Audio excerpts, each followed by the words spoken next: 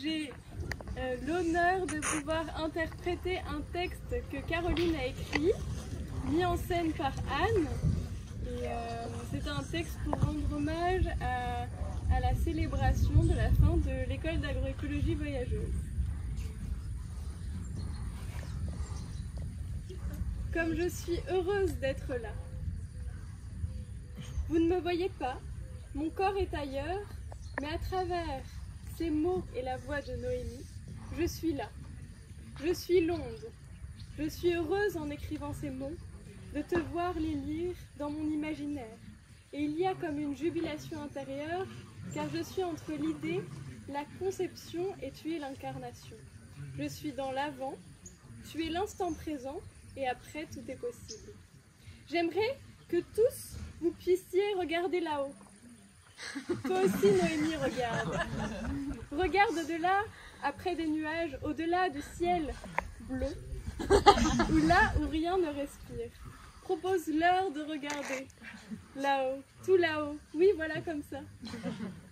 Là où il n'y a plus de lumière, parce que là-bas, il n'y a pas de poussière.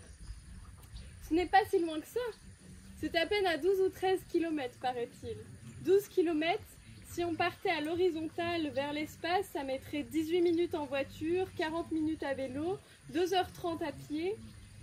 Mais comme c'est à la verticale, il faut aussi lutter contre la force de la Terre. La Terre nous ramène toujours contre elle. Elle sait bien, elle, que là-haut, ce n'est pas vraiment pour nous. On m'a toujours dit, là-haut, il n'y a rien, c'est le vide. Quand je les écoutais, en regardant les étoiles, je me disais que ce n'est pas très logique. Il y avait les étoiles déjà, et ce n'est pas rien. En fait, là-haut, tout là-haut, ce n'est pas si vite que ça.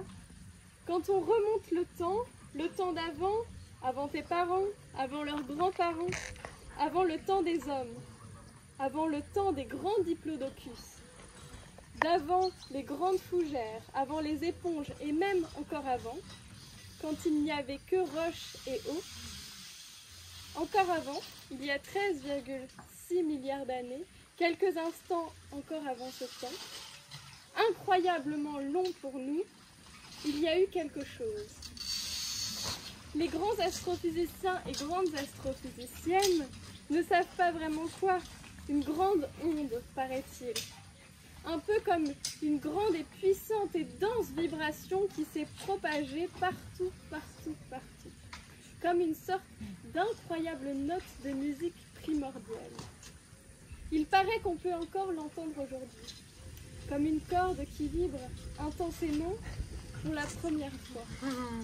Et puis de cette onde, tout a commencé à se créer, à se densifier. Chante, et tout existe un peu plus autour de toi, tout vibre plus fort. Le premier atome à être créé, c'est celui de l'hydrogène. Il y a il y en a plein dans l'espace, pareil pour le carbone, l'oxygène, plein d'atomes, plein de briques. Tous ces éléments ont été agrégés, mis en boule, ils ont fusionné et ça a donné des soleils. Des soleils se sont rencontrés et ont commencé une danse magique, une danse spiralée, et ça a donné des galaxies. Des milliards d'atomes ont ainsi créé, il y a 4,6 milliards d'années, notre Soleil. Pour nous, il représente tout la chaleur, la lumière, notre centre du monde, notre rythme. Il nous offre la nuit. Son attraction nous offre des planètes sœurs. Dans notre galaxie, c'est un soleil avec une taille moyenne.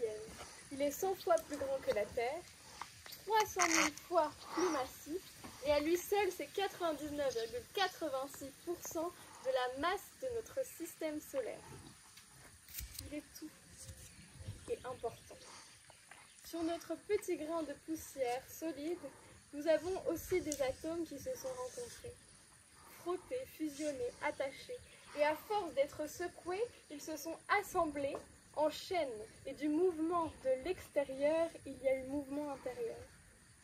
Après la musique du cosmos, il y a eu la danse des atomes et des molécules.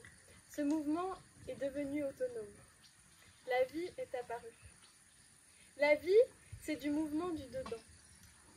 Il y a eu un dedans et un dehors qui ne se sont jamais plus quittés. Depuis lors, c'est devenu une douce mélodie, puis une symphonie de mouvements, d'entrechocs et de briques de la vie, qui n'ont eu de cesse de s'emboîter du plus simple au plus compliqué. Nous ne sommes que des atomes et des molécules empruntés à tous ceux qui nous ont précédés. Mes molécules, tes molécules, nos molécules, vos molécules, étaient dans d'autres corps, d'autres formes de vie. Mes larmes ont peut-être traversé des milliers de corps avant moi. Nous avons emprunté du calcium au coquillage du Crétacé. Nous sommes maintenant comme des amas organisés de poussière d'étoiles et de vie multiples. Et si nous avions, grâce à ces molécules voyageuses, la possibilité de nous rappeler des bribes de cette immense toile ancestrale tissée à travers le temps, condensée dans ce corps que je porte et qui tous les mois se transforme entièrement avec de nouvelles molécules, que nous mangeons, buvons, celle de la délicieuse salade et du poulet incroyable, celle de l'eau de la source, dégustée au gré de mes voyages. Ils ont imbriqué les C, les H et les O dans mon corps. Et quand je mourrai, alors mon joli corps puzzle, cosmique, va libérer toutes ces molécules. Dans quel merveilleux champ vais-je décider d'offrir mes hydrogènes, mes ions, mes carbones, ce que j'avais emprunté à l'univers? Moi, je voudrais pouvoir choisir une petite colline qui surplombe une vallée avec au fond de l'eau qui chante. Je voudrais pouvoir choisir de n'être pas emballé dans trop de plastique ni trop de chimie inorganique. Choisir de mourir et de nourrir des racines d'un figuier à l'aide de l'armada d'un sol bien vivant. Je deviendrai comme des confettis qui iront enrichir de multiples vies. Et toi, quelle graine, quel fruit, quel animal deviendras-tu? Quel sol iras-tu nourrir?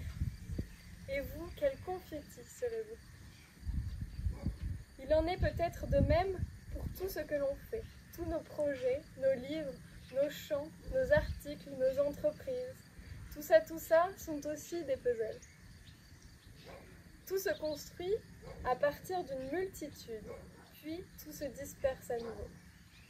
Chers amis de l'école d'agroécologie voyageuse, cette école est pour moi comme un joli pissenlit, devenu tout poilu, qui attend une brise pour aller se disséminer et ensemencer d'autres champs fertiles. L'EAV, prêt à se décomposer, nous offre son corps riche et dense à nous tous, réseau mycorhizien.